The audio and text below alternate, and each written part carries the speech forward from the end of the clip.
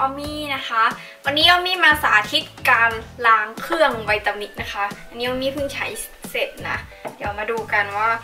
ล้างเครื่องไง ล้างง่ายมาก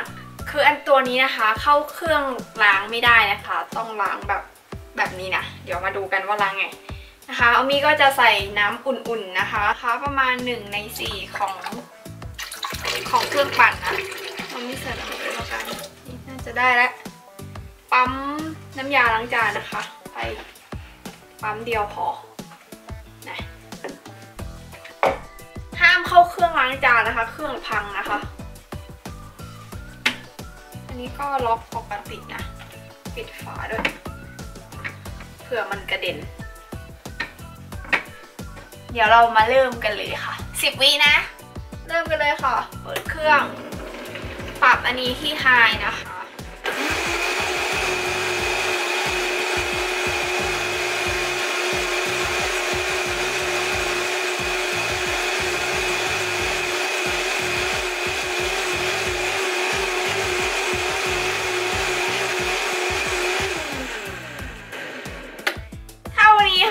เราก็จะเสร็จแล้วเดี๋ยวเราเอามีเอาไปเขย่าน้ำนิดนึงนะ